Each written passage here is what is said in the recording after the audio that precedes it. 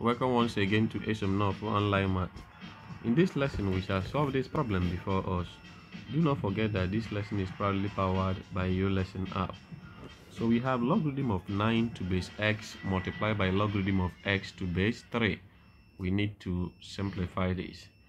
But remember that this logarithm of x to base 3, we can change the base to x so that both of them will have the same base.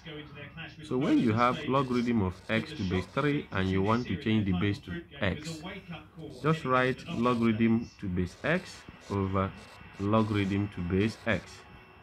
So what number are you seeing here? x, you write x.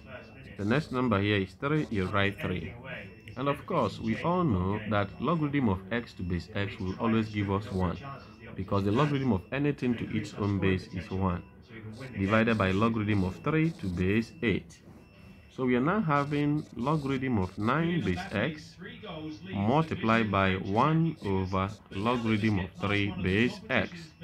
So we can go on to simplify the first term Remember that this 9 can be written as 3 to the power of 2 base x, then multiply by 1 over logarithm of 3 base x.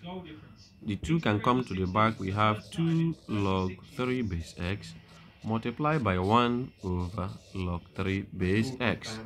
From here, log 3 base x we cancel log 3 base x. We are left with 2 multiplied by 1 and of course this will give us 2.